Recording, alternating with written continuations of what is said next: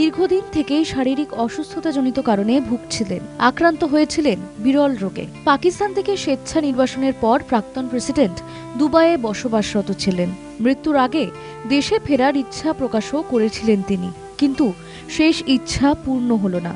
রবিবার চির ঘুমের দেশে পাড়ি দিলেন পাকিস্তানের প্রাক্তন প্রেসিডেন্ট পারভেজ মুশারফ দুবাইয়ের হাসপাতালে শেষ নিঃশ্বাস ত্যাগ করেন তিনি। মৃত্যুকালে তার বয়স হয়েছিল উনআশি অবিভক্ত ভারতের দিল্লিতে জন্ম। পরে দেশভাগ হলে তার পরিবার চলে যায় করাচিতে।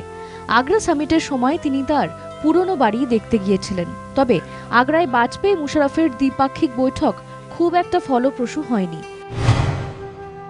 উনিশশো একষট্টি সালে তিনি প্রথমবার পাক সেনার সংস্পর্শে আসেন। মিলিটারি একাডেমিতে পড়াশোনা শুরু হয় তার। সেখান থেকে ব্রিগেডিয়ার তারপর একেবারে সেনা সর্বাধিনায়ক হন তিনি।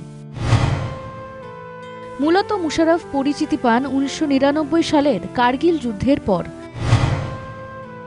পরে পাকিস্তানে সেনা অভ্যুত্থান ঘটিয়ে নওয়াজ শরীফের সরকারকে উৎখাত করেন মুশারফ। সামরিক উর্দি পরেই পাকিস্তানের দশম প্রেসিডেন্ট হিসেবে ক্ষমতা দখল করেন তিনি। এর মধ্যে দু সাতে প্রাক্তন পাক প্রধানমন্ত্রী বেনজির ভুট্টো দেশে ফেরেন। ওই বছরই ডিসেম্বর মাসে রাওয়ালপিন্ডিতে র্যালি চলাকালীন এক আত্মঘাতী বিস্ফোরণে মৃত্যু হয় বেনজির ভুট্টোর। পাকিস্তানের ক্ষমতায় তখন মুশারফের সরকার। বেনজির ভুট্টোর মৃত্যুর পরের বছরই পাকিস্তানের সাধারণ নির্বাচন ছিল। রাজনৈতিক চাপের মুখে মুশারফকে প্রেসিডেন্ট পদ ছাড়তে হয়।